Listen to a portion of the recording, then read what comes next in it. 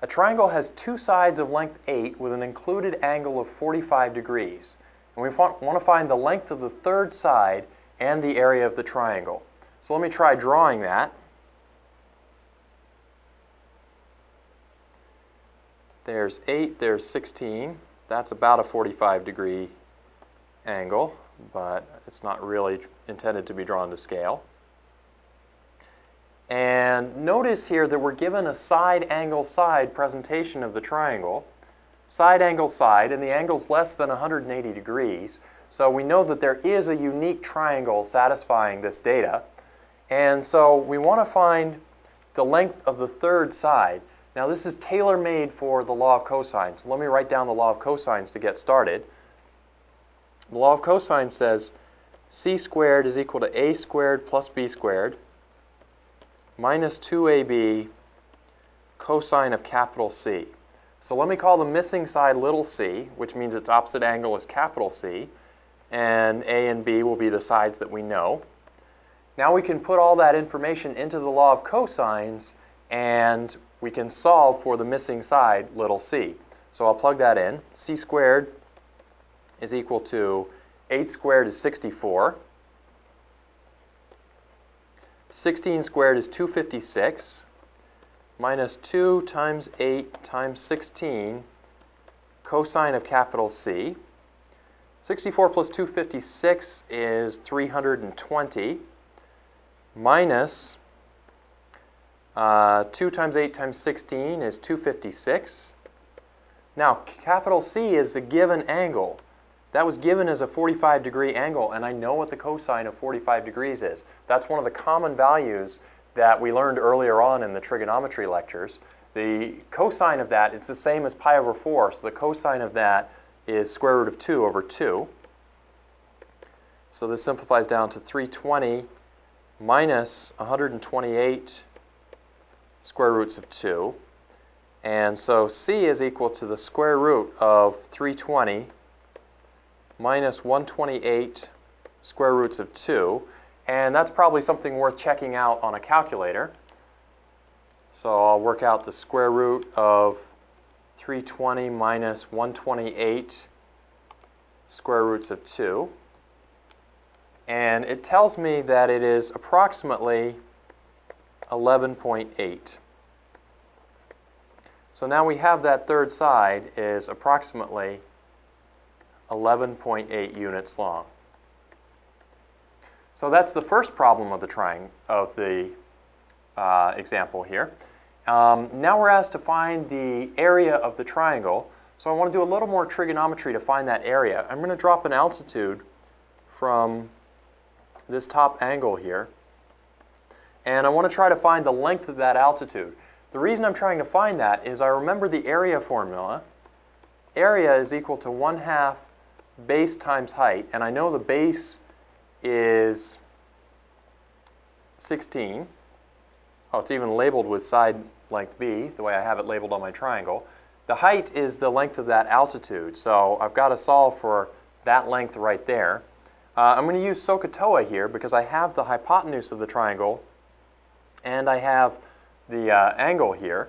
So I know that by SOHCAHTOA, Sine theta is equal to opposite over hypotenuse. So sine of 45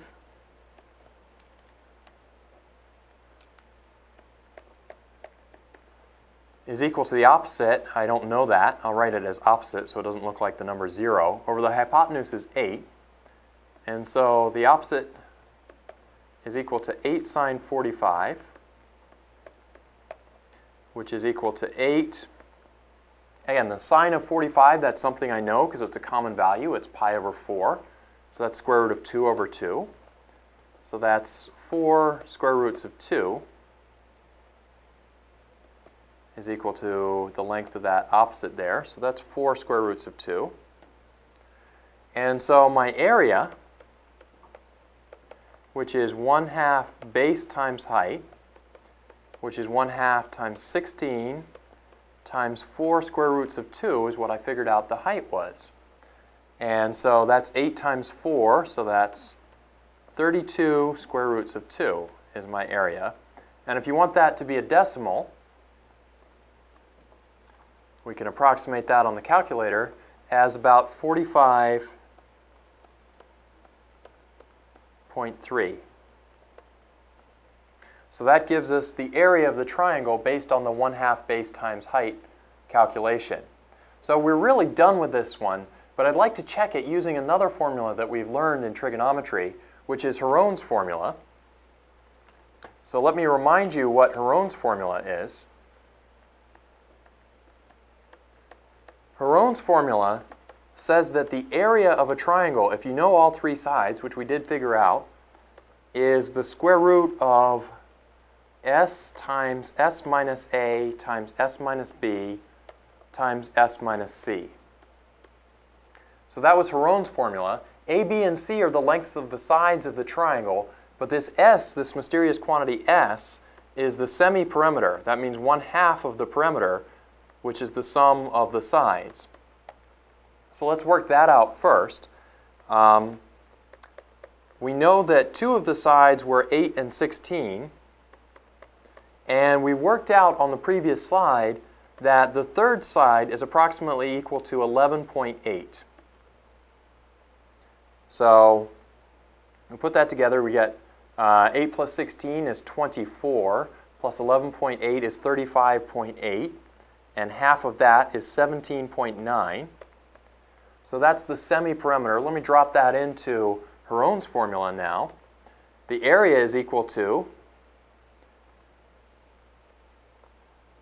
17.9 times 17.9 minus a, which was 8.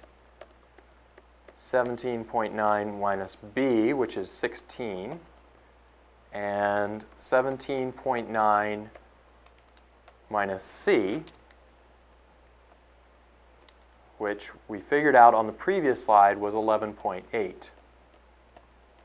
So now it's just a matter of simplifying that. That's 17.9. 17.9 minus 8 is 9.9. 17.9 minus 16 is 1.9. And 17.9 minus 11.8 is 6.1. So I'm going to multiply those together on my calculator.